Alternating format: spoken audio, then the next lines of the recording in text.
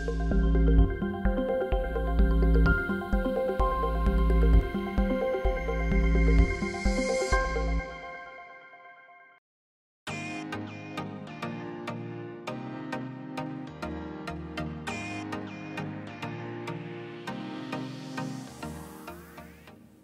pessoal, sou a professora Laís Pereira de Oliveira. Hoje vou falar sobre a catalogação.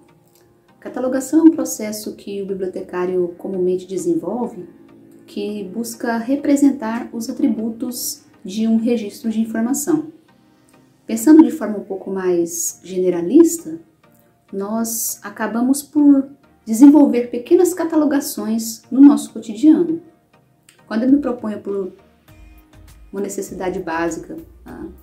saio para fazer compras, eu preciso fazer geralmente uma lista, fazer ali um, uma anotação básica do que eu pretendo comprar e trazer para casa. A catalogação se assemelha muito a isso. Eu faço ali todo um trabalho, todo um processamento, toda uma descrição daquilo que eu tenho em mãos, do objeto informacional, que posteriormente é, me permite localizar e reconhecer esse objeto num acervo. Então, o catalogador, o bibliotecário catalogador, é o responsável por evidenciar esses atributos que descrevem um item de informação. Catalogação é um processo muito antigo, remonta de fato às primeiras tentativas dos pensadores, dos teóricos, daqueles intelectuais que buscavam formas de ordenação do saber na antiguidade.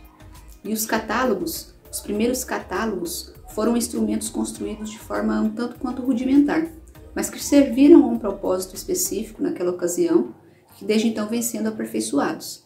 Se a gente for pensar na antiguidade, o que se consegue constatar é que havia um conjunto de listas de livros, de títulos dos livros, das obras que eram uh, difundidas naquele momento, e eram é, de fato estruturas um pouco mais simplórias, mas se assemelham muito aos catálogos que temos nos dias atuais.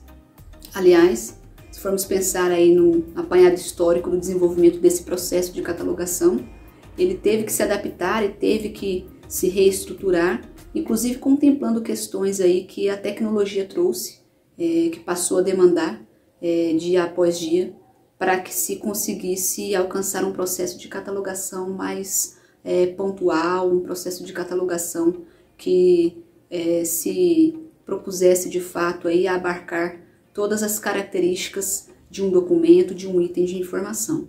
Especificamente, inclusive, pensando nos diversos suportes, nas diversas tipologias documentais que nós temos que é, acessar e lidar dia a dia.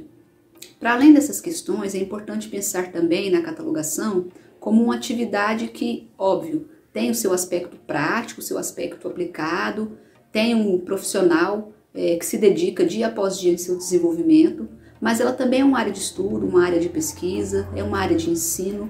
Então, nos cursos de biblioteconomia, nós temos a catalogação como é, disciplina formalmente estabelecida e o bibliotecário ele é formado também dentro dessa dimensão da catalogação, tentando, obviamente, enxergar para além do espectro técnico propriamente dito que esse processo, que essa atividade configura, mas especificamente também os elementos relacionados ali à produção do conhecimento, ao registro do conhecimento, sobretudo porque a catalogação, em essência, é a atividade que vai proporcionar essa descrição, essa representação dos atributos de informação, não esquecendo, claro, ali daqueles elementos mais básicos, daqueles elementos mais pontuais que são relativos ali à sua, à sua especificação enquanto, enquanto fonte de informação.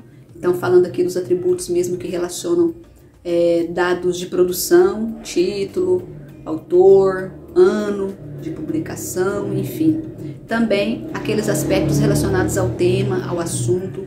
A catalogação dita de assunto vai se, se preocupar também com esse aspecto e vai tentar estabelecer aí é, de forma mais é, ampla a representação também desse, desse documento, dessa informação em um nível temático.